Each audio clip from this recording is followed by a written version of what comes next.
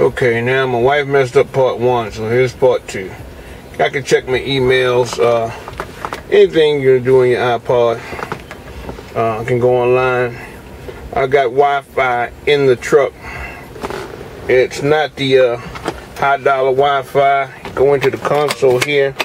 Got my uh, USB connector where I can connect up my iPhone.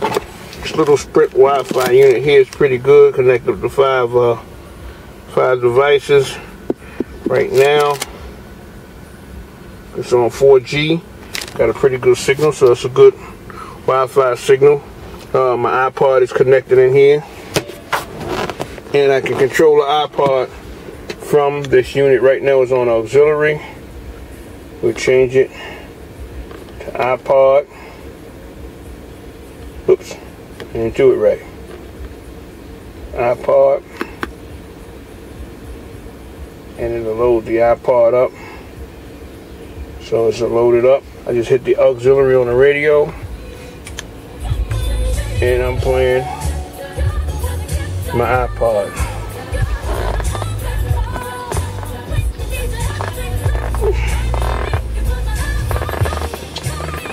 All right.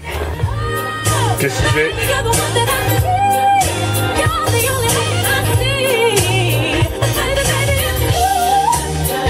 This is the radio, so I can mute my audio.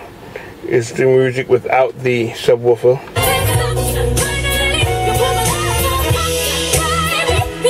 This is pretty good. I can watch, I can go to videos here.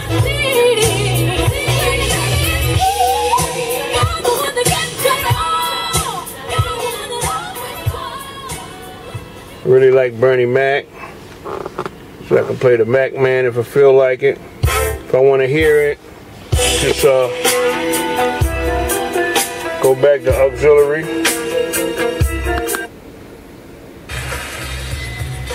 And I'm listening to the Mac Man. And I can change the volume. First thing you said, steering some black wheel. motherfucker that came out here.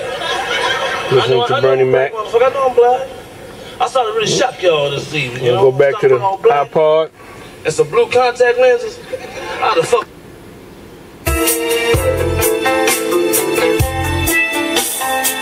And that's the uh, iPod without the uh, subwoofer on.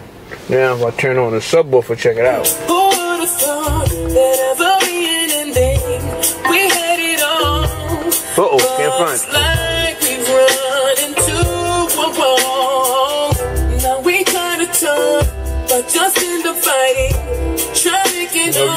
Difference. I can hear it in here. think this ain't no more. Got those little tweeters up in the top if you can see 'em. Ourselves to all this fall. Talking in So, sounds pretty good.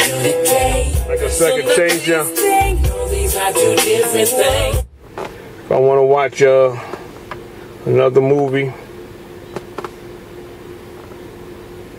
or can run the navigation.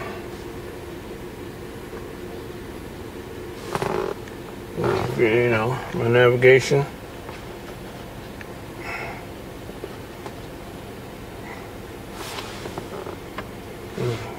Acting like I never did it before. Uh,